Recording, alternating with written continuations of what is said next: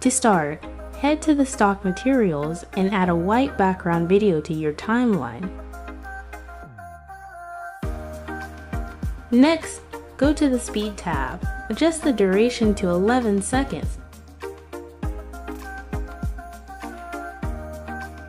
Set the video ratio to 16 to 9. Duplicate a white clip. Go to Adjustments. Click on Curves and customize the color to your liking.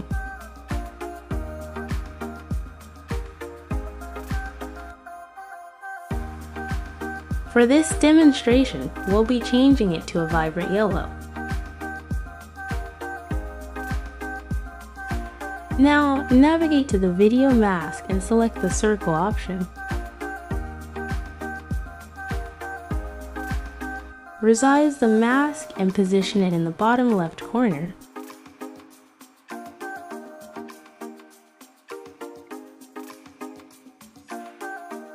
Duplicate this clip onto the top layer and move the mask to the top right corner.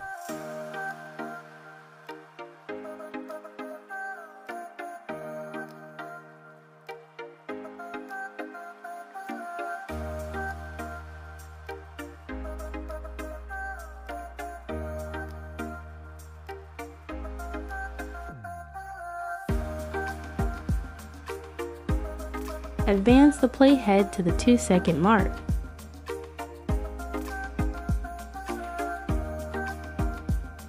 Access the video basics and apply transform keyframes to both yellow background clips.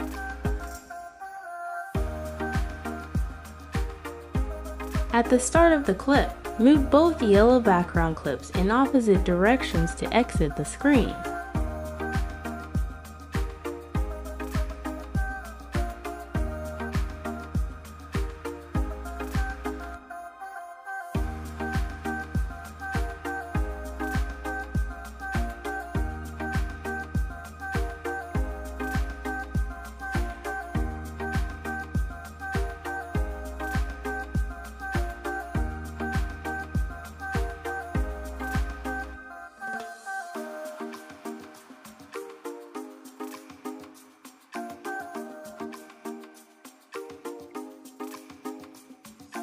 Select all layers, right-click, and create a compound clip. Move the playhead back to the 2 second mark. Once again, go to the video mask, choose the circle shape, and adjust its size and position as necessary. Duplicate this clip.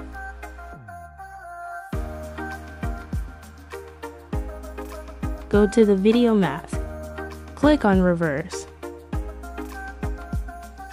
and add a slight feathering effect for a shadow look. Duplicate the clip in the bottom layer onto the top layer.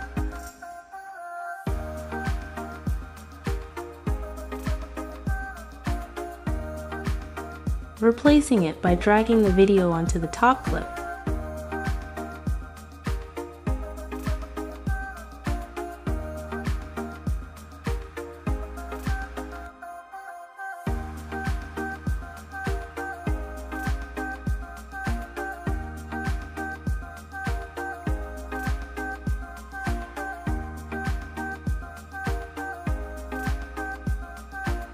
Go to the video basic.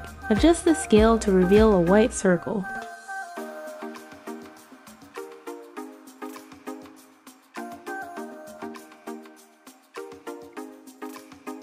Click on the bottom layer clip. Move the playhead to the 2 second mark.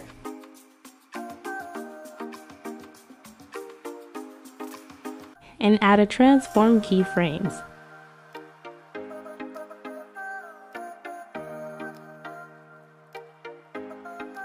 Move the playhead to the end of the clip and apply 6 rotations.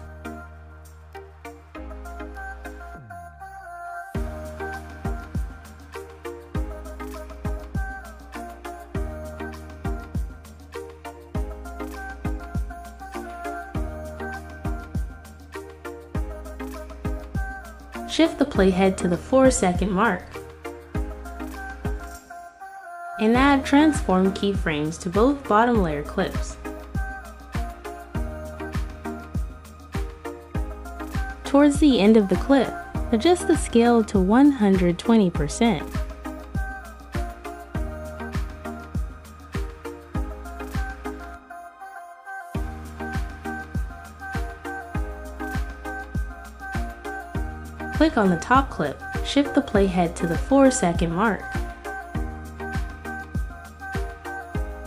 Go to the video mask. Add a mask keyframe at 4 seconds. Towards the end of the clip, fine-tune the mask size.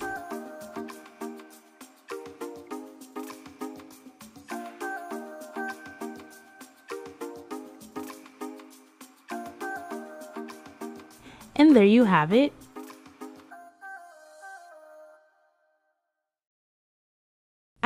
This tutorial was informative and enjoyable for you.